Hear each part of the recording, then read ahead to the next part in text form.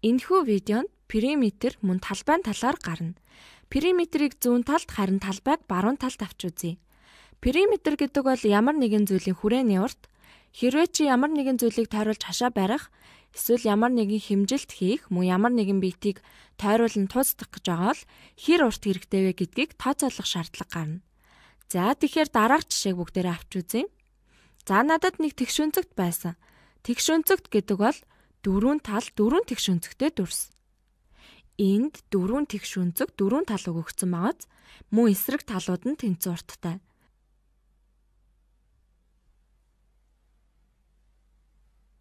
За бүгдээрээ оройнуудаа А, Б, С, Д гэж тэмдэглэе.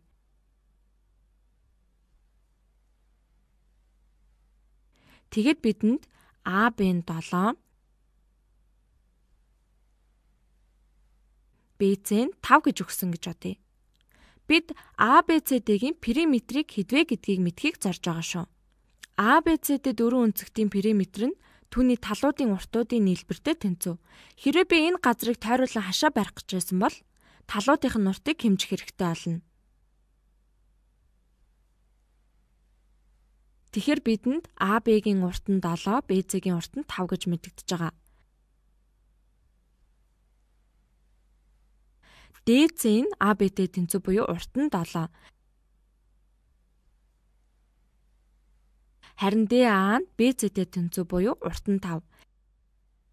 Тэгэхээр одоо 7 дээр нэмдэг нь 5, нэмдэг нь 7, нэмдэг нь 5 тэнцүү 24 байна. ABCD-гийн периметр нь 24. За энийг бодох бас өөр нэг арга байгаа. За жишээ олгоод бидэнд нэг квадрат өгсөн байг. Тэгвэл квадрат нь дөрвөн тал дөрвөн тэгш өнцгтэй. Тэгтээ бүх талууд нь хоорондоо тэнцүү байдаг шүү дээ. За Д квадратыг зуръя бүгдээрээ.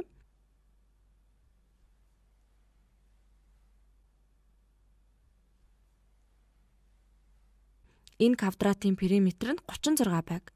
Тэгвэл одоо талынх нь уртыг олно. Бүх талуудынх нь урт нь тэнцүү. Тэгвэл талуудынх нь уртыг за А, Б нь x, BC1X, CD1X, DA1X гэж тэмдэглэе. Периметрийг олвол x дээр нэмдэг нь x, нэмдэг нь x, нэмдэг нь x. Энэ нь 4x болох буюу 4x тэнцүү 36 олно. 4-ийг үржих нь ямар нэгэн юм тэнцүү 36. За бүгдээрээ үүнийг бодвол тэгштэглийн хоёр талыг 4-т хуваавал x тэнцүү 9 олно. Хэрвээ квадратын нэг тал нь нэг бол бүх тал нь л нэг байна гэсэн үг. За дүрсийн талбай гэдэг нь нэг нэгийн харьцаатай хідэн квадратаар энэ дүрсийг дүүргэж болох вэ гэсэн үг. За одоо талбай гэдэг бол энэ зүйлийнхээ доторх зайг хэмжих юм. Надад нэг нэгийн харьцаатай квадрат өгөгдсөн гэж бодъё л доо. Квадрат болон тэгш өнцөгтийн хувьд хоёр хэмжээсийг нь л зааж өгөх хэрэгтэй. Учир нь бол бусад талууд нь адилхан байдаг шүү дээ. Манай тэгш өнцөгтийн хувьд 5 талаатай харьцаатай байсан. Тэгэхээр энэ нь 9 9-ийн харьцаатай квадрат байсан байна. Тэгэхээр энэ периметр байлаа. За одоо бүгдээрээ энэ тэгш өнцөгт дээрээ эргээд ирье. Би энэ тэгш өнцөгтийн талбайг нь олох гэж байгаа. Тэгэхээр А, Б, С, Д тэгш өнцгтийн талбайг дөрвөлжин алтанд хий бүгдээрээ. Тэгээд энэ тэгш өнцгтийг дүүргэх нэгийг харьцах нэг хэмжээтэй квадратын тоог олно. За үүнийг хийцгээе.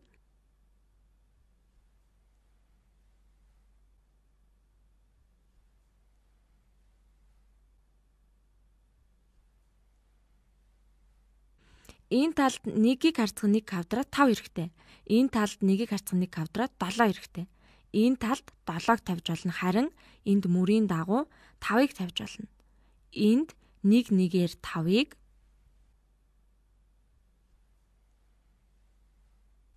харин энд 1 1-ээр 7-г.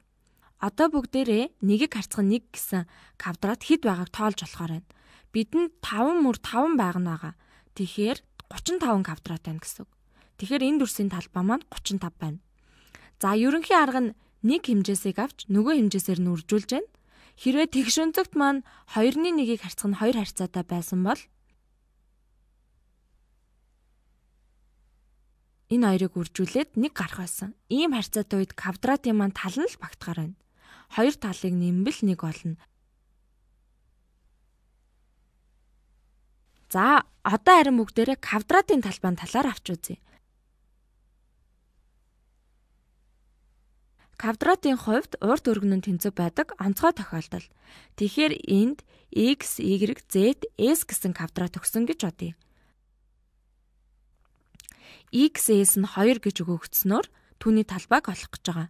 За өөрөөр хэлбэл x, y, z, s-ийн талбайг олно гэсэн үг. Бүгдээрээ бүх талууд нь тэнцүү гэдгийг мэддэг шүү дээ. Энэ бол тэгш үнцэгтийн нэг онцгой тохиолдол. Тэгэхээр энэ нь 2, энэ нь бас 2, эндээс 2-ыг 2-оор үржүүлээд 2-ын квадрат буюу 4-тэй тэнцүү. Ингээд дөрвөн ширхэг нэгийг харьцах нэгийн квадратаар энэ квадратыг дүүргэх нэ.